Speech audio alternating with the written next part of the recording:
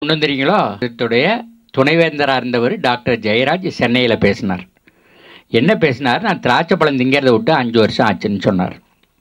எல்லாரும் காதை திட்டிட்டு கேட்குறான் வேளாண் பல்கலைக்கழக துணைவேந்தர் திராட்சை பழம் திங்கிறத விட்டு விட்டாருன்னா ஏன் விட்டாருன்னு. அவர் விளக்கவும் செய்கிறார் ஏன் விட்டேன் தெரியுமா அப்படி? திராட்சை தோட்டத்தில் போய் பார்த்தாரு. திராட்சை பழம் பந்தலில் தொங்குது. அதில் போய் விஷத்தை தெளித்தா இவர் மூஞ்சிலே திருப்பி அடிக்கும். ஆனால் விவசாயி அதை செய்யலை.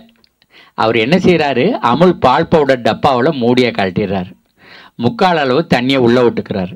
அதில் கொஞ்சம் என்ட்ரின் கொஞ்சம் எக்கலாக்ஸு கொஞ்சம் சுமத்தியான் கொஞ்சம் மாலத்தியான் கொஞ்சம் பாரத்தியான் கொஞ்சம் ஃபாலிடாலு கொஞ்சம் செவினு கொஞ்சம் நோக்ரான் கொஞ்சம் டெமக்ரான் கொஞ்சம் ரோகாரு கொஞ்சம் டாட்டா ரோகாரு கொஞ்சம் டைத்தேன் கொஞ்சம் ஹினோசான் கொஞ்சம் மானோகுரட்டபாசு கொஞ்சம் எண்டோசல்ஃபான் கொஞ்சம் குங்ஃபு கொஞ்சம் கராத்தே எல்லாம் கொட்டி குச்சியால் கலக்கிற. கலக்கிட்டு ஒவ்வொரு திராட்சை குழியிலே முக்கிய முக்கிய எடுக்கிறாருண்ணா அப்படியே அசந்து போன அந்த வைஸ் சான்சலர் கேட்டார் எப்பா எத்தனை தடவை இது மாதிரி முக்கிய எடுக்கிறேன்னு கேட்டார். ஐயா பூத்ததுலேருந்து அறுவடைக்கு நூறு நாள் பதினாலு வாரம் வாரம் ஒரு தடவை பதினாலு தடவை முக்கிய எடுக்கிறோன்னா அதுலேருந்து அவர் திராட்சை பழந்திங்கிறத விட்டுட்டாருன்னு.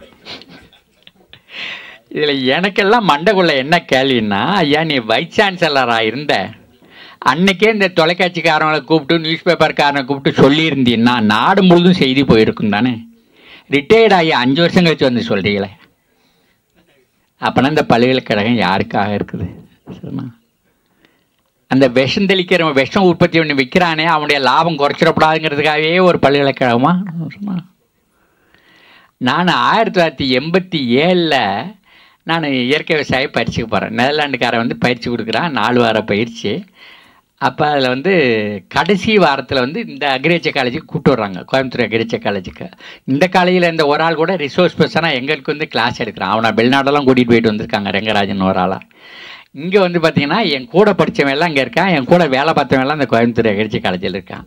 ஒரு டிபார்ட்மெண்ட் ஒன்று திறந்துருக்காங்க. என்ன டிபார்ட்மெண்ட்டுன்னா department of indigenous plan protection நாட்டு முறையில் எப்படி பயிரை பாதுகாப்புங்கிறதுக்கு ஒரு துறையே தொடங்கியிருக்கிறான். சரி அப்போ நான் சிரிச்சுக்கிட்டே அந்த ஆளுகளை பார்த்து கேட்டேன் இதுக்கு என்ன அவசியம் ஏற்பட்டது அப்படின்னு கேட்டேன். அப்போது ரெண்டு பத்து ஆண்டுகளாக இருபது ஆண்டுகளாக பச்சை புரட்சி நடந்துச்சு.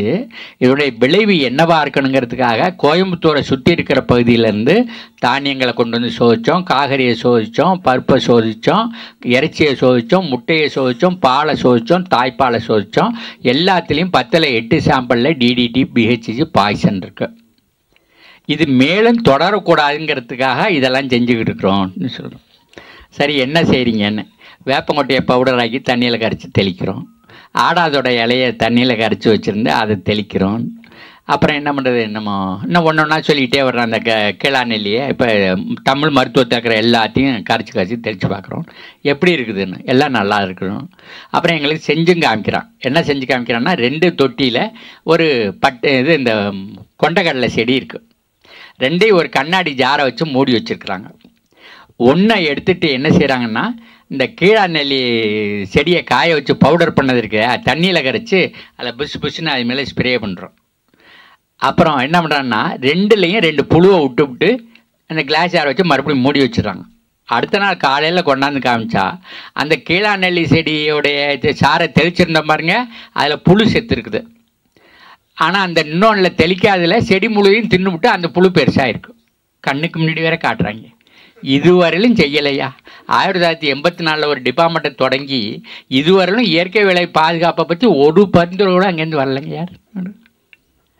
அதைத்தான் நான் சொல்கிறது எங்கள் வரி பணத்தில் எதுக்குடா நீங்கள்லாம் சம்பளம் வாங்குறீங்க? கம்பெனி சாமானை விற்கிறேன்னா அவன்கிட்ட தானே சம்பளம் வாங்கிக்கணும். இந்த டிபார்ட்மெண்ட் பல்கலைக்கழகம் எல்லாத்தையும் க்ளோஸ் பண்ணிடலாம் தானே?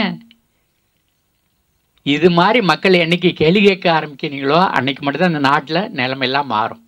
இல்லாட்டி அந்த காசர்கோட்டில் நடந்த விஷயங்களுக்கு பாருங்கள் பிறக்கிற குழந்தை இருபத்தஞ்சி ஊரில் ஊனமாக பறந்துக்கிட்டு நடக்க வேண்டியவெல்லாம் தவழ்ந்துக்கிட்டு இருக்காங்க கை கால் விளங்காமல் ரொம்ப பேர் புற்றுநோயில் செத்தே போனான் அரசாங்கம் மானியம் கொடுக்கணும் அந்த இழப்பீடு கொடுக்கணும் வர்றதுக்குள்ளே ரொம்ப பேர் செத்து போனான் அதில்.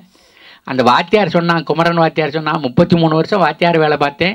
பார்க்குதுங்கிற பழக்கம் கூட எனக்கு கிடையாது. எனக்கு இப்படி வந்துருச்சு என்ன உள்ளுறுப்பெல்லாம் செத்து அப்படியே ஆள் செத்துக்கிட்டே இருந்தோம்.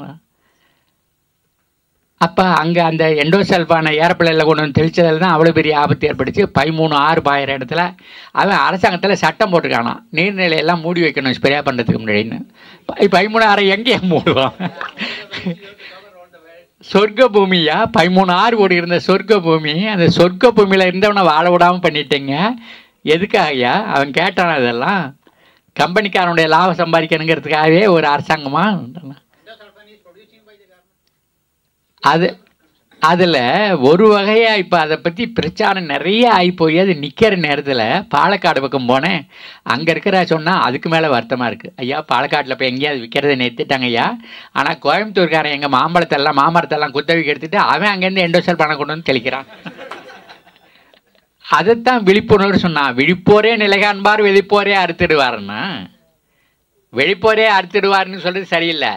விதைப்பதையே அறுத்துடுவார். நீங்கள் எதை விதைக்கிறீங்களோ அதை அறுத்து தான் செய்வீங்க. விதை விதைப்பவன் விதைய இருப்பான் தினைய இருப்பவன் இது தினைய விதைச்சவன் தினைய இருப்பான் வினை விதைச்சவன் வினையேற்பான் இருப்பான் அப்போ மக்கள் வந்து எவ்வளவு இன்னமும் கண்மூடித்தனமாக இருக்கிறாங்க இது எப்படி இந்த கம்பெனிக்காரன் பயன்படுத்திக்கிட்டு இருக்கிறான் இந்த இதெல்லாம் நம்ம யோசிச்சு பார்க்கணும். இதுக்கு அடுத்த கட்டம் வந்து என்னென்னு கேட்டாக்கா எங்களை கூப்பிட்டு போனது பெங்களூருக்கு கூப்பிட்டு போனாங்க. அப்போவே நாராயண் ரெட்டி வந்து ஏழு வருஷம் இயற்கை விவசாயத்துக்குள்ளே அவர் பண்ண போயிருந்துச்சு. திரும்ப திரும்ப நான் விவசாயிகளை தமிழ்நாட்டிலேருந்து கூட்டிகிட்டு போய் கூட்டிகிட்டு போய் காமிச்சிட்டுலாம் கூட்டிகிட்டு வந்திருந்தேன். ரொம்ப அருமையான பண்ணேன் அவங்க வீட்டை சுற்றி நிறையா மல்பெரி பயிர் பண்ணியிருந்தாங்க. மல்பெரியில் பட்டுப்புழு வளர்த்துக்கிட்டு இருந்தாங்க. மாடு வச்சுருந்தாங்க. மாட்டு பாலை வந்து பக்கத்தில் கொண்டு போய் ஊரில் டவுனில் கொடுத்துக்கிட்டு இருந்தாங்க. அந்த மாடு பெய்கிற மூத்திரஞ்சாணியெல்லாம் சாண கிணறுக்குள்ளே விட்டாங்க.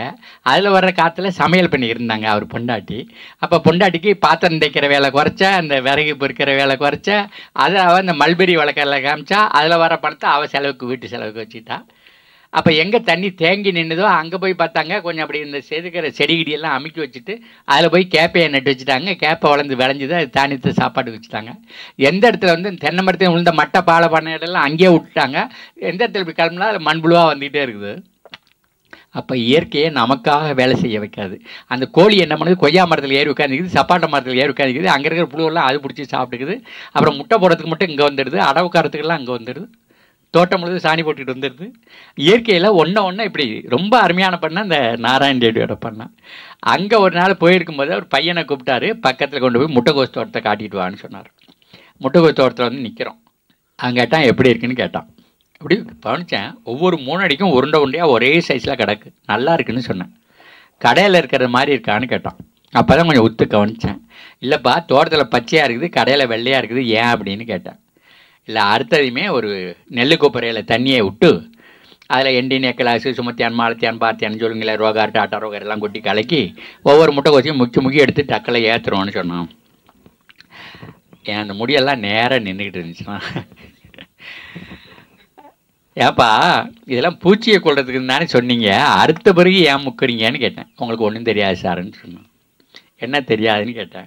உங்கள் ஊருக்கு இது வந்து சேர்றதுக்கு அஞ்சு நாள் ஆகுது.